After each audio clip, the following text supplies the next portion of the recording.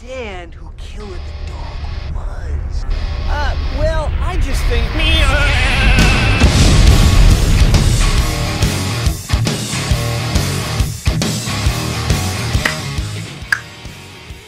What's going on, Mike? How are you today? Good man, good. How you doing? I'm good. I got um, I have my in-laws visiting me from New Jersey. Um, it's funny because they lived in Florida years ago, which is kind of a cool story. This whole thing. I mean, it's it's funny how things go around. So, Ginny and Herb, that's my in-laws. They live in Jersey. They were totally bummed when we moved down here to Florida. Totally bummed mm. because we lived in we lived in Chester, New Jersey, three miles apart, and we were always back and forth. So came down here and were like, yeah, no, I'm not coming down. I almost feel like they were like, we're not coming down. So finally, we got them down here, and it is, you know, it's hot and all that, but uh it's not that hot. So, you know, D, as soon as they arrived, she had wine, cheese, trying to try to impress him. Took him to a nice restaurant last night. We get tricycles because they're too old for the to regular. My in-law, my father-in-law, he could barely walk. He's like, oh, I can ride bicycles. I'm like, no, you can't. He's like, no, I'm just working on my one hip. I got, I got. And it's really funny because he wears he was in the Naval Academy in like I don't know in the early '60s, late '50s, Uh, and he has a million pins all over him, all over him. So he's just a walking billboard, like I was a vet, I'm a vet. For everyone that doesn't know, it's um, today's you know meet a vet day. Um, this is if you remember a couple episodes ago with Boyd. This is one of his good friends, and it's Julius, right? Am I saying that right? Yep. Okay. Uh, Fogle. And he's a comedian, so I want to get to know this guy. Boom. Uh, one thing I want to tell you guys too. Listen, I got to sell my Patreon, but the reason to sell it, if you haven't seen me live, which I love doing stand up comedy live, you can watch me on the Patreon page. I I live stream one concert a month. So if you join, if you join um, the Patreon now, the fi- it's 15 bucks, but for the 15 bucks, you're only there for one month. Now, with the one month, you get my last comedy special, which is which you can only get on Patreon. You have to join Patreon for one month, and it's 15 bucks. And then at the end of the month, you bail. But with that, you get another live show that I just did. So you have the whole month to check it out. I did it in Jim Thorpe, Pennsylvania, a place called Penn's Peak. Besides the Paramount in Long Island, all my life, I always tell my agent, get me in Penn's Peak. I think it's one of my all time favorite venues in the whole country. I love that. Adorable little town. Um, did a lot of improv that night. So go to my Patreon page, download, you pay one month. There's also other podcasts on there where you, the subscriber, you right there, you, you get to be the podcast. And you know what's amazing? I think we've done about, God, for probably 20. How many podcasts we do already? Not that many, right? Mike? Uh, this will be 28. Um, you have you're in the 30s, I believe, for your There. Patreon ones. Yeah. what's more mind-boggling about the Patreon podcast is you the fan, you the subscriber, you're the you're the podcast host. But every single one's been completely so far and wide from the other. That's what absolutely boggles my mind. You mentioned that you're playing. What is it? The 27th. You're playing at the Paramount. Yeah. Uh, you gonna meet up with Dice? I think he's playing the day before you. Is he really? yeah, he's gonna be there 26th. So he's going to be there on a Thursday night. Yeah, yeah, because Well, he's I doing he's doing that um that Carteret place the night before on Wednesday on the 25th. Did you get to see him? No, um, I th- we might be going to see him on that Wednesday, the 25th, because Annie really wants me to meet him, and I haven't met him yet, so it should be uh, interesting. I mean, come on, Annie. Why don't you bring Mike come down the Paramount and just, you know, come on. Wait, who you gonna go see? Okay, let's let's get rid of. Okay, I I used to have him. He, he he used to come on my radio show once in a while. He didn't have to do that. He was so damn funny every time I had him. He just he's just a funny dude. I know he's playing. He's playing down here in Naples. Well, for those of you for those of you watching on Patreon, he plays tonight. For those of you not watching on Patreon, he played last night in Naples, Florida. And actually, he's playing tonight and tomorrow night as well in Naples, Florida. But uh, I didn't know he was playing the Paramount. I would love to. Maybe we'll, you know what? We'll definitely go check him out because I fly in on a Thursday and I have hotel rooms for Thursday, Friday, Saturday out in Long Island for me, Joe Sib, and Monty Franklin. Um, I'm going to film both those shows and, you know, we'll air them here and we'll air them on Patreon and we got a whole thing figured out for that. So yeah, I'll stop to go see the dice, man. Okay, I want to see what material. I don't know what kind of material he does anymore. I'm I have no idea. I'm I'm curious. Like, does he still walk out with the with the with the jacket? Is he still you know with the fake cigarette? Like I don't know, or does he just go up there and and do his shtick? That's that's uh that's what I want to kind of find out. Annie says she believes he still does the jacket, the Still vest or whatever. jacket? Yeah, yeah, yeah. I Well, then actually, why, why, why don't we all go there on a Thursday night? Why don't we all go there? Why don't we try to get him on here? that would be great. Annie, why don't We you can work make that in the- happen. what, what, let's try to get him on. Breuer wants to get Dice on. She's working on it. Do you think he'd be into that? I guess we'll find out. Especially if he meets them this week. Yeah, uh, totally. If if you meet up with him, um, when you guys are in Huntington, you guys can, you know, A hundred percent. seal that deal. I'm definitely gonna go see him in Huntington. When I, I had no clue he was there on that Thursday night before I'm there on the Friday. It's funny too, because uh, when we were in, um, when I followed you in Annapolis, when you were there, and I was with you and Sib, uh, Yeah. you guys, you were you were having some, I guess, family issues with one of your children, and you were going off um, as if you were Dice. Always. And I hold on a second, here, I have this. I have Big Big fucking mistake. I have an audio clip of you going. Big fucking mistake. Oh my god, I remember that. Yeah, yeah, I got that all on video. When I, why did you air that? What, what, what's on there? That's on you, man. Uh, If you want me to post it up, I can. I'll, I'll send it to you to uh, to verify it True. first, just to make Yeah. sure that you want to put it out there. I But it think is if I it is pretty remember- funny. If I remember, it was something like my kid was going over someone else's kid's house, and the parent wasn't really there. Yeah, that's what it was. Yep. girlfriend was there. The girlfriend that's like was pregnant, and it was something. It's something in that world. And, yeah, and you called the dad. I actually I I have all that on. I have Dad- that all recorded. and the dad's like, "Yeah, you know, uh, we just kind of play loosey goosey and uh, whatever goes." And and they were like, "Yeah, that's a big fucking mistake." we, me and me and Sib, I do dice all. The, I do a terrible dice, but I do dice reacting to things all the time.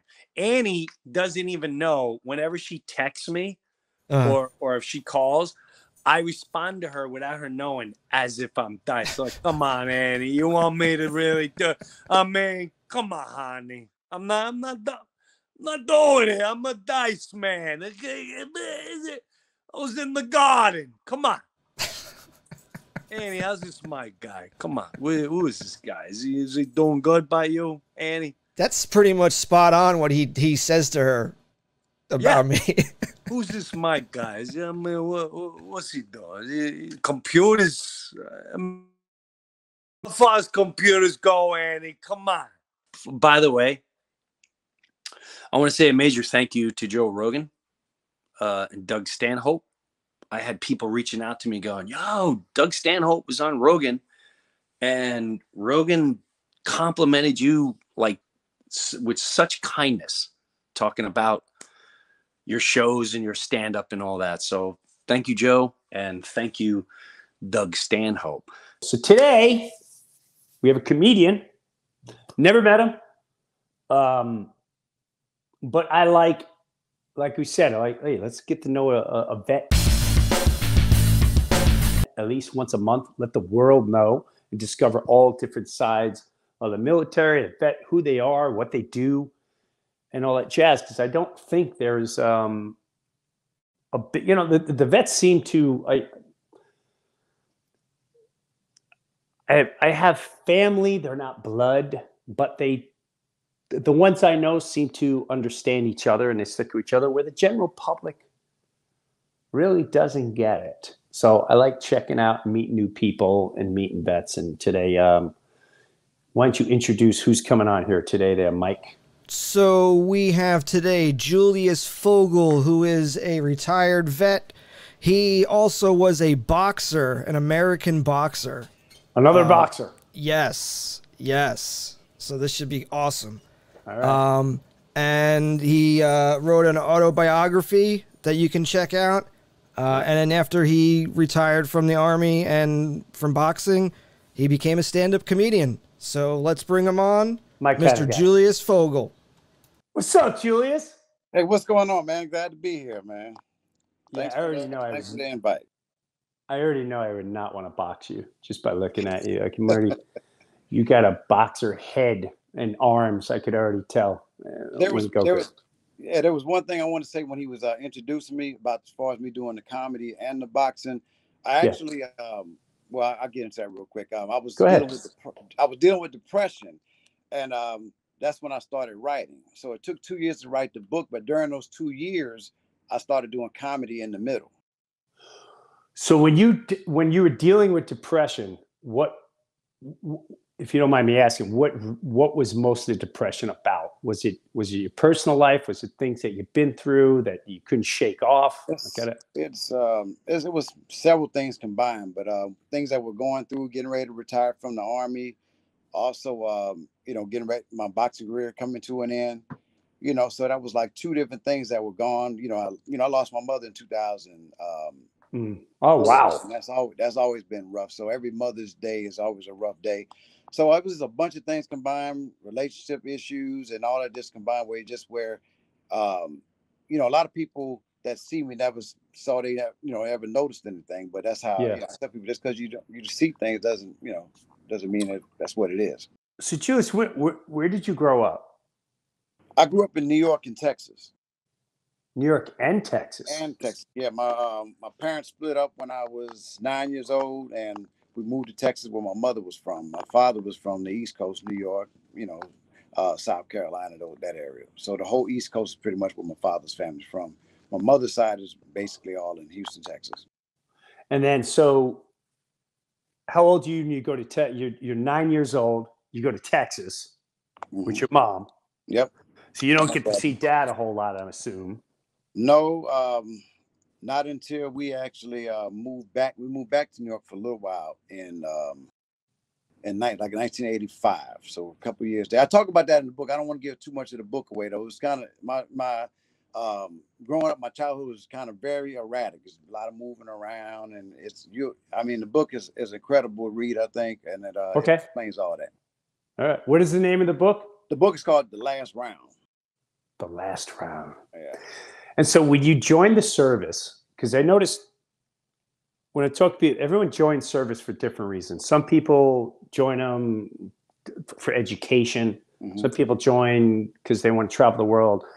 Depending if you were around during 9 11, some people felt the need to join at that time. What what made you go into the service? At the time, I was working at Little Caesars as a assistant manager for a couple years, and um, I was like, "That's not what I wanted to do." I really wasn't really hooked on the army, but I had a bad relationship with a stepdad, and I just said, "You know what? I'm ready to get up out of here and just do it my way." And that's that's how I got into it. And then once you were in there, you travel everywhere. Did you have to? Did you? Within but the you were in there a long time. Is that a career thing? Yeah, 20, I did 20 years, 10 days. Damn. Yeah, so I, re- I retired in 2010. Damn. How old are you? I'm I, I'm 50. Damn. You've already lived a whole life. So well, you're just yeah. starting. Well, you know, I, well, I just retired from boxing around eight years ago. I was still boxing in, in my 40s. I fought uh, Sergey Crusher Kovalev. No Yeah, I kidding. fought him as a pro. Yeah. And what? What? Um. Damn. I actually, You know. tell, I actually tell a joke about that. Uh, in the first round, I say he hit me with the right hand so so hard that he actually knocked some damn sense into my ass. that's- that's when I- That's when I knew it was time he started looking for another occupation.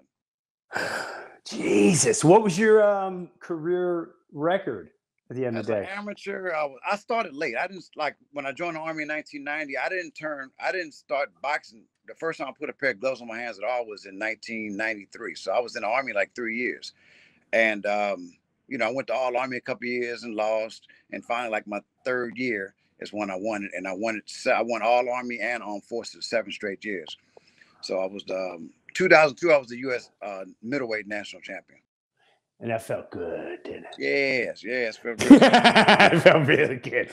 Who was um so growing up, because we're kind of, you know, I'm 55. When it came to boxers, I thought I was older than you, man. no man, Okay, you Wait. got me by a few. I've got you by a few.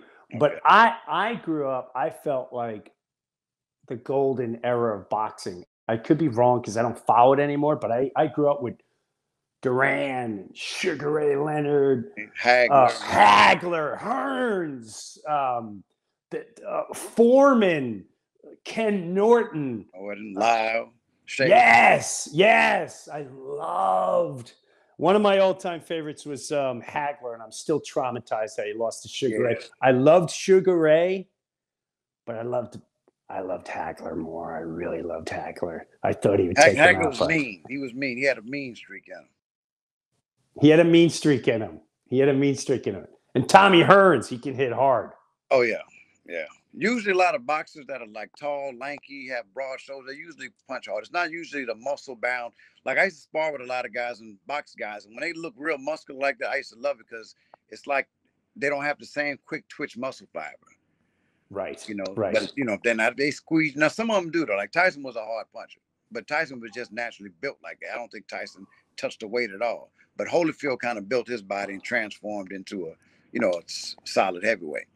Do you think I saw the end of Ali, but I can honestly say I'm not sure anyone if if you took everyone in their prime, do you think anyone could have beat Tyson while he was peaking and everyone else was peaking, including Muhammad Ali?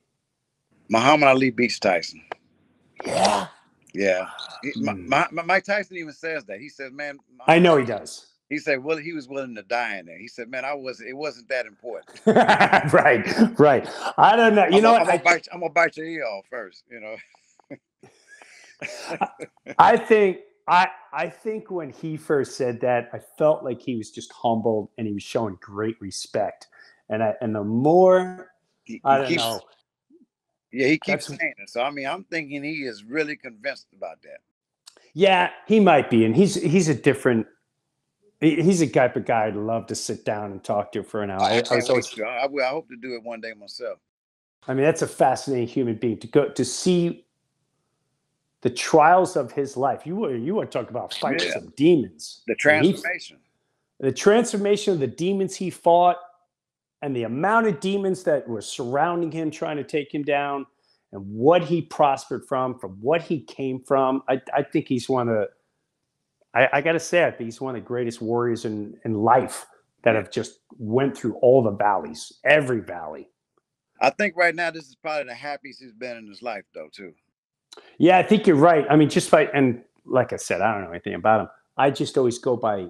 You look at the person, you listen to the way they talk. Yeah.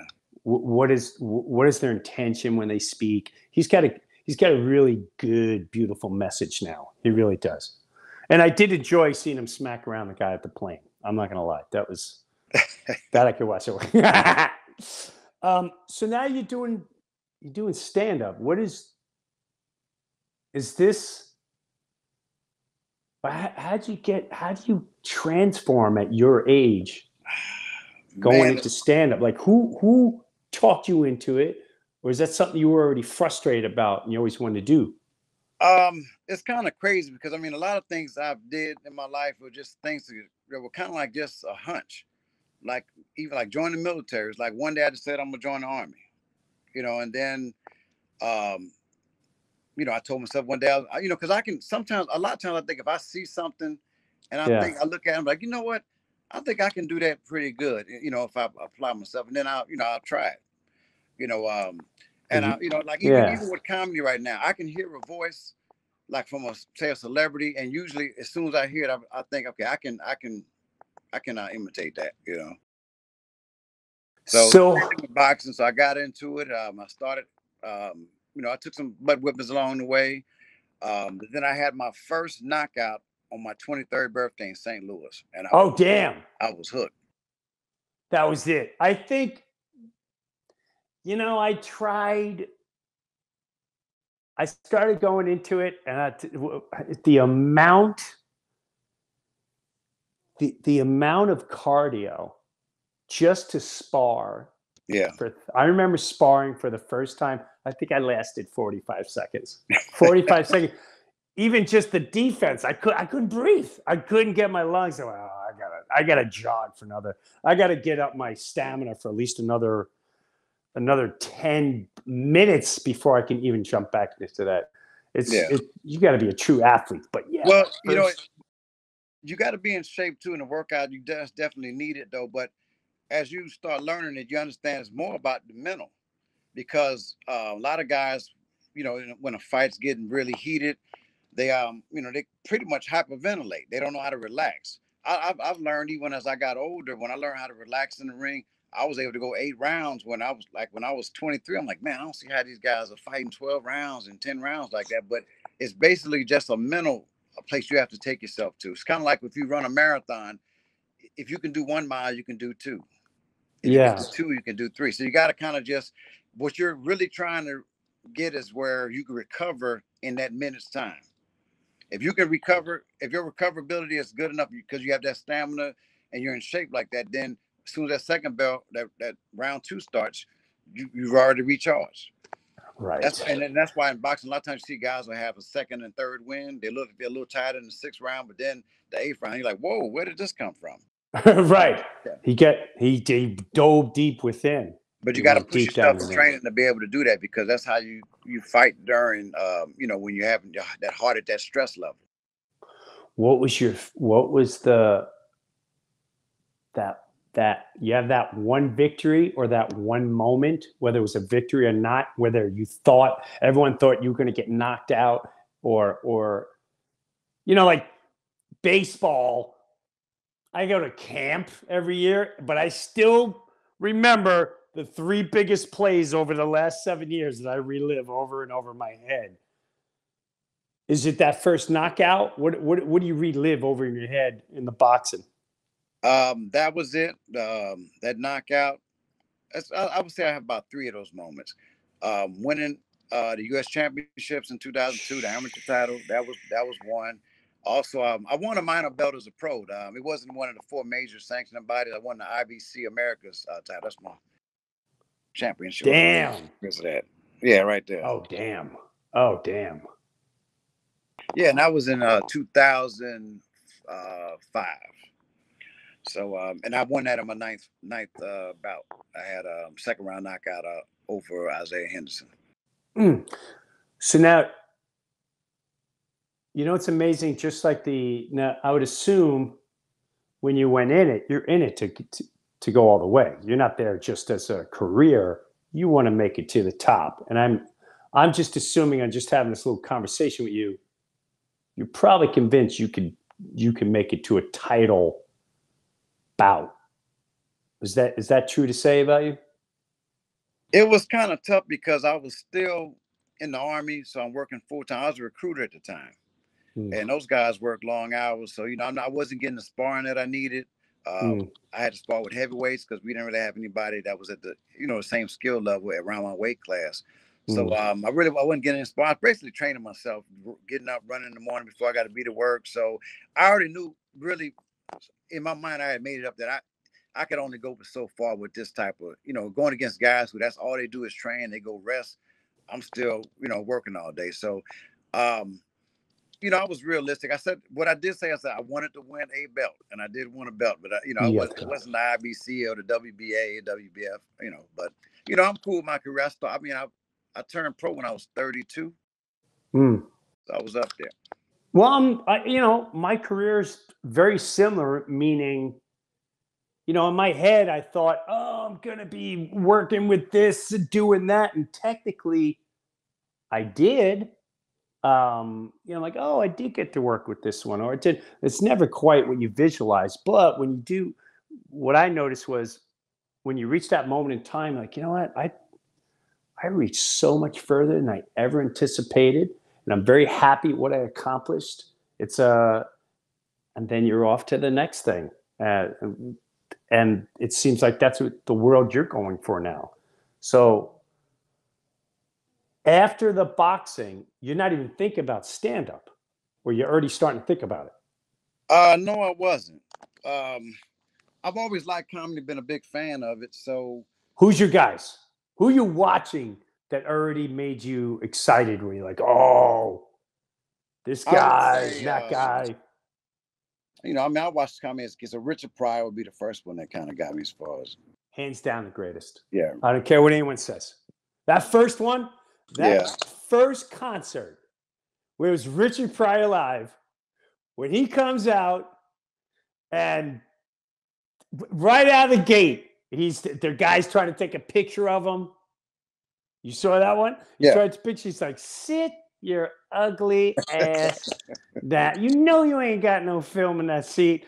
And he talks about the white people. He's like, I like when white people find out somebody took their seats. So he's sitting there. That whole concert, I still say, is probably one of the greatest comedy concerts in history.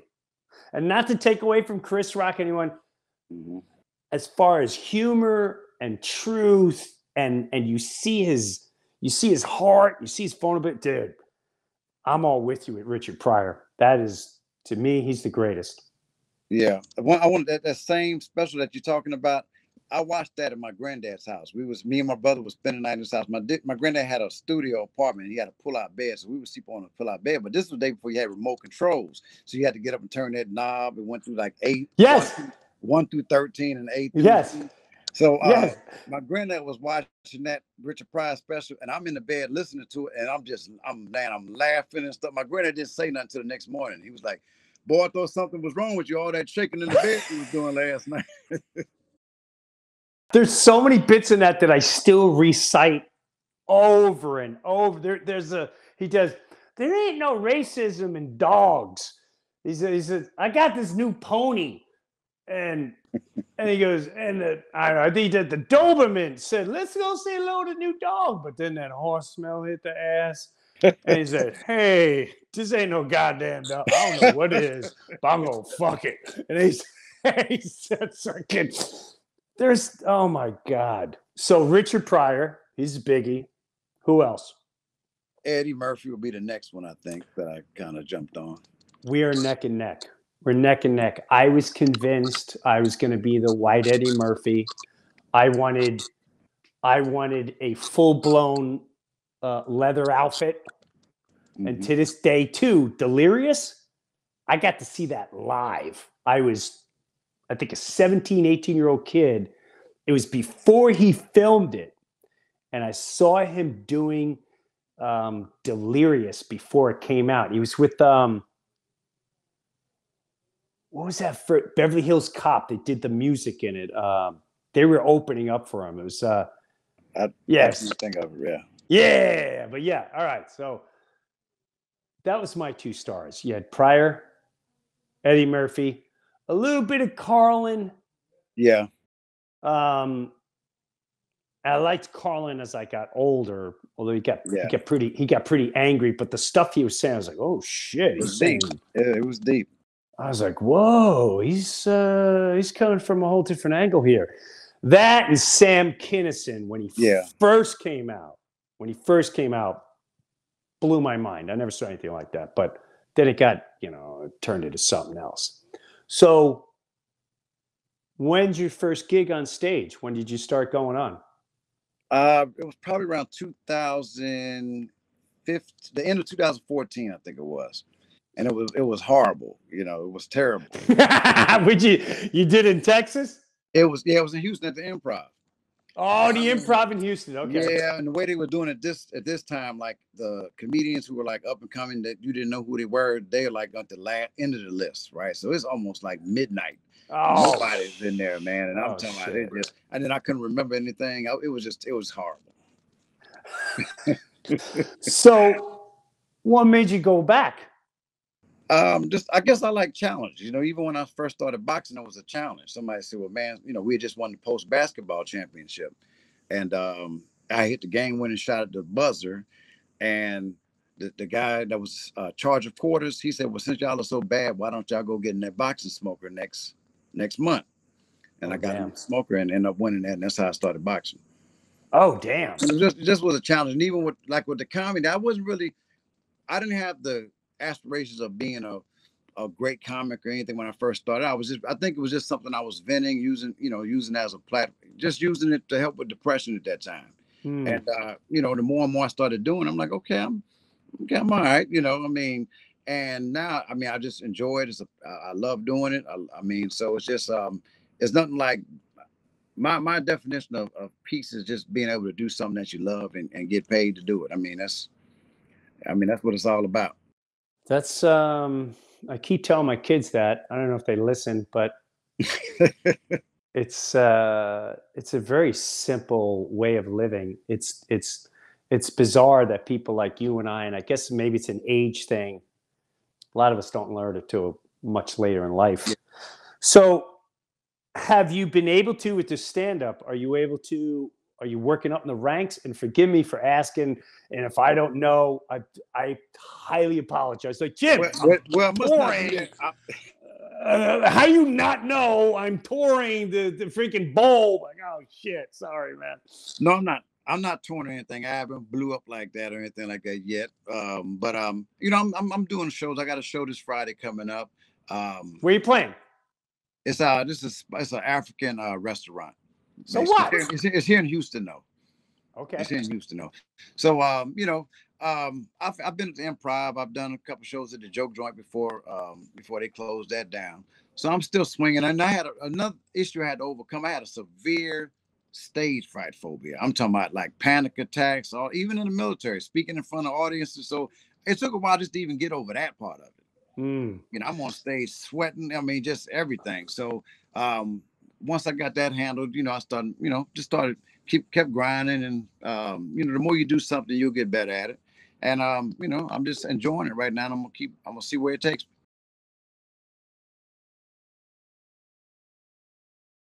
I have a couple friends. You know, I have these. I have a guy that opens for me. He's in his fifties. He's only been doing it, eh, maybe seven, eight years or so. It's one of those things where it doesn't matter what your age is. Mhm. what I learned the minute you find your voice and your vulnerability, the minute you find your vulnerability and you're willing to share that with the world, it's it's you start growing, I feel, as a comedian to a whole new level. And then you start, I mean, you're a guy that has pretty much lived everything. And when I say everything, Your whole journey as a kid, you went through anger, you went through the family breaking up, you went to the service, you were a boxer, and you made a champ. You probably thought at that time, like, I'm gonna, like, you realize, oh, it's not gonna happen. Oh, God, I'm not gonna do it. Oh, it's not really gonna happen. And I just learned the more vulnerable I am on stage, the more people are able to relate to me.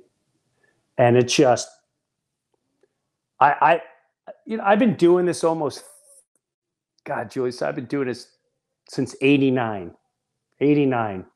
And I can honestly say, not until the last eight years, maybe, have did I feel like, wow, I now I know, now I really know what I'm doing. I really know what I'm doing. Yeah. Um, but it takes a long time, man. Yep. And I, I think about what we're just saying basically is saying is you have to know yourself. You know, a lot of Yes. times people don't even accept that they have vulnerabilities. That's You know, right. so if you don't even accept it, how can you really, you know, you, you have you're not gonna you're not gonna get there. Yes. Yeah. And I can usually see through it. I can usually sit there and just I'll watch someone and go, ah, this guy's been doing it. He's not ready yet. He's still trying to be sticky or this and that. He's not ready to uh okay. Oh, this guy's real getting real close. I remember watching a couple guys, and then sure enough, I see them a year or two later going, Oh shit, he's blowing up. I knew that guy was gonna blow up because they found what they're not so worried to talk about anymore. Um, you know, do you find it do you do a podcast Yeah, we have one on Sunday. It's called Soul Therapy. It's uh, me and a comedian named uh, Mayan Mayan Robinson, and it comes on from six to eight on Sundays, uh, Central Standard Time. and now is don't you think it's amazing at this at this stage because we we both grew up in a different era and we things had to be done differently and the way people pretty much anyone can be an entertainer now and the whole world is at your feet i mean you pro should i assume that you and your you on the um, sundays do you have more fun doing that than the actual stand up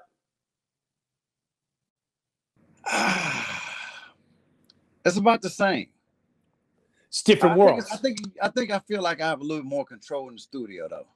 Well, Well, you do have, you know, because you can Yeah. write, you know, just a little bit, but it's. I think they're both pretty much hand in hand. Yeah, yeah, yeah, yeah. Yeah, they are. They're just two different beasts. So I tell everyone, listen, on stage, I'm not going to talk. I'm coming out. I'm coming out to knock your teeth out. I I go for the kill. I don't want. I want to hurt you. I want to destroy you. I want you to leave going. You know, now I saw so and so and so and so and so and so, but no one touches him. Yeah. The podcast world and the other worlds I do, it's more of I'd rather reach to you as a human. Um, not that I don't do that with stand up, but I'd I'd much rather. It's a different- I'm not afraid to show this anymore. Yeah. I'm not afraid to talk about faith, my spirituality, how deep we can go, how dark I used to be. That- it- it- Just put it all out there. Everyone's got something to relate to Yeah. and that's that's the powerful thing about having a voice and, and people like yourself that's able to put it out there um, so when should we look for this book is it out now Yeah, here there's a copy right here. Uh, it's called The Last Round. See it? bing bang boom so we won't talk about that everyone should check out this book It's Now- available on Amazon. on amazon Amazon, yeah. what about a website I don't have it on the website yet, but I'm gonna get on that. Choice Hey, I know. I'm I'm hey, I'm working on it. how old how old's the how old's how old's your partner on the podcast is a young dude She no, it's a female. She Oh, she. Um, yeah. She I'm not sure. I think she has to be about probably about 40. she got kids Yep, forty. teenagers Huh? teenagers No, they grown. you need to find yourself, the two of you. I'm going to give you the best advice you ever had in your life. Find a teenager to run all your social media, and you'll never have to worry about this again. The minute you find someone to run your social media, build a website, and you talk about it every Sunday on your podcast. Go to here, put your book on there. Talk about the thing. Have a little kid going, okay, Julius, you gotta, here's your good, I just need you to make a little video and I'll post it and I'll, I'll tweet it out and I'll do this and I'll do it. Dude, it changed my life. It was a game changer. Because guys like you and me, it's not a world. I need a, I need a guy. Yeah, I, I, my I daughter helps. My daughter's 16. She helps me out with a lot of this stuff, though. There so, you go. Yeah. Get her working more. Throw her some extra bang, bang, bang. Yeah. She has to do less chores, pay a little extra cash, and let daddy roll. That's amazing. Well, I hope to cross paths with you on the road, man. What was that? I hope to cross paths with Oh, you. no doubt, no doubt. I'm, I look forward to it, man. It'd be great. I mean, I, it's Well- kind of funny how I remember watching you in Half Baked, and now all of a sudden I'm talking. I mean, you just never know how you how your roller coaster ride is going to go. And that's what I'm saying, that you never know where this this is what I love about life's journey. You don't know where it goes. You don't know what and we don't know why we're here. Yeah, At the end of the day, you might be here to save one human being. From that, you talked about depression. You you you you went through some serious stuff that you haven't unleashed today, but I can just tell. And you're gonna change a lot. you're right. got yeah, you're gonna change a lot of lives, man. yeah. Well, actually, did you um Boyd had- did um I don't did he speak about the Be Heard campaign? Say what? The Be the Be Heard campaign. No, tell me It, uh, about It has to do with mental health, and uh, you know, it's called uh, hearing, encouraging, recognizing, and discussing. And it's a program that um, you know, that they're doing because Shawn Porter's in that movie called Round One, where he talks about his relationship with his father and dealing with a lot of things that he was dealing with. So um, it's, it's a campaign, it's a movement that's going on now called Be Heard, H E R D. H E R D. We'll have to check into that. We should we should get some people from there and get more involved with that. That sounds like a great idea. Yeah, especially with veterans too, man. I mean, a lot of time, I mean, just just leaving the military, going into the back into the civilian world again is, is hard on a lot of people. But then actually, for me to lose, you know, boxing and retirement from the army, it was it was a little rough, you know. And plus, that was kind of the only world you knew. Yeah. You so know, to leave to And leave that time- world, my whole time in the army, I was planning on moving back home, which I did. But you know, when I planned on my mother still being here, so that was, you know, things happen and that you have no control over. You got to make the best out of. Yeah, man, you went through losing a mom, and you and your mom clearly were close because you went to go live with her. Ain't nothing with a boy. There ain't nothing more. Well, I shouldn't say that. I was very close to my dad, but oh, oh someone's cooking some shit. You better jump on that, Julius. Man, goddamn. Go do what you got to do. You, you You know a what? car, you had a car wreck and now the smoke alarm going off in here. That's right. Someone telling us we can wrap this up, man. God bless you, brother. Be Oh, safe. you too, man. Take care. I'll see you around. Great to talk to you. Stay out of trouble. All right, we'll do. You too. Later, man. Bye. Says Jules, you know, I could tell he had a lot, he had a lot he wanted to talk about, but just wasn't sure how far and how wide to go. Um, we should look into that, Mike, that organization he was talking about. Um, I just want to get involved. You know, I was talking with James, and um, I just feel like there's a festival or something that we can get going and just organize and let the vets do it. But me and me and Sib have been trying to put some stuff together, and we're still. It takes a little time, but uh, we're slowly working on it. Slowly working on it. Um, we'll catch up a little later, Mikey. Stay out of trouble. Always. I want to get into um I want to get into some stuff. You know, again, I want to let everyone know beware of everything that's heading our way. Remember me and Eddie Bravo talked about, even JP. The times are coming. If you can't see how obvious it is, I don't know how to help you if you can't start seeing everything, whatever's controlling us, government, media, whatever their ties are, they keep pushing for race. They keep pushing now, it's the abortion thing.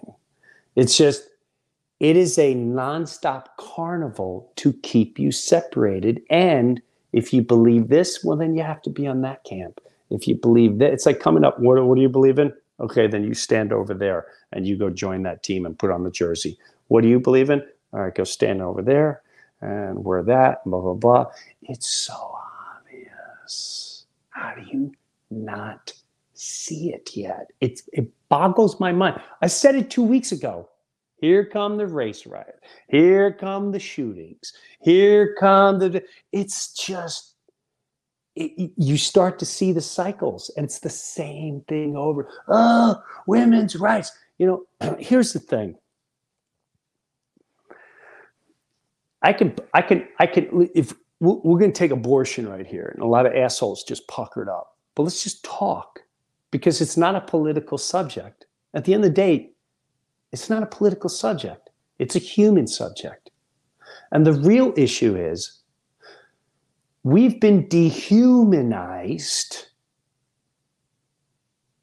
dehumanized visually by every uh, pop star, by movies, by pornography, to look at the most precious thing we could do as humans and that is to create another human, to fall in love, to be together, your souls connect, and you reach a point that you have a child. Everything is sex. Sex is soulless. Do you understand that? It's soulless. And the more you take the soul out and the more you dehumanize, my body, my choice, you are selling yourself short when you say those things. My body, my choice. It's it's no different than saying Kellogg's is good for your heart. I know some people's minds are exploding, but it's a sales pitch. It's a thoughtless sales pitch. The real issue in hand is you need to respect your body more. You need to respect one another more. And you need to respect if you're going to be intimate someone, stop watching those demonic, disturbing pornography of women getting choked and how many how many how many TikToks do you see where chicks are twerking their ass?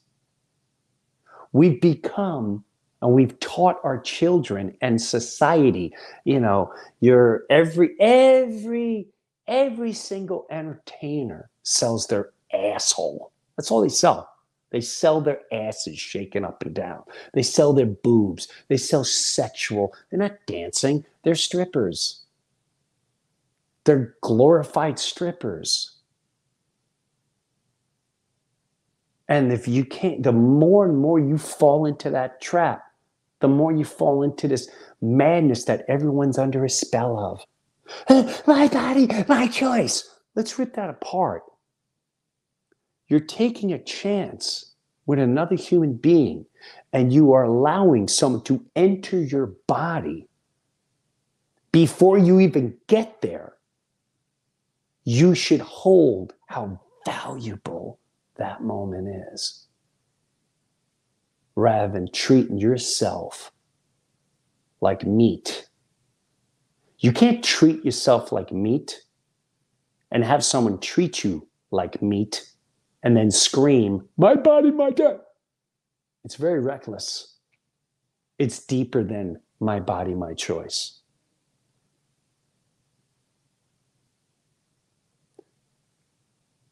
Nobody talks about preventing the situation in a real manner or the value of what intimacy truly is supposed to be.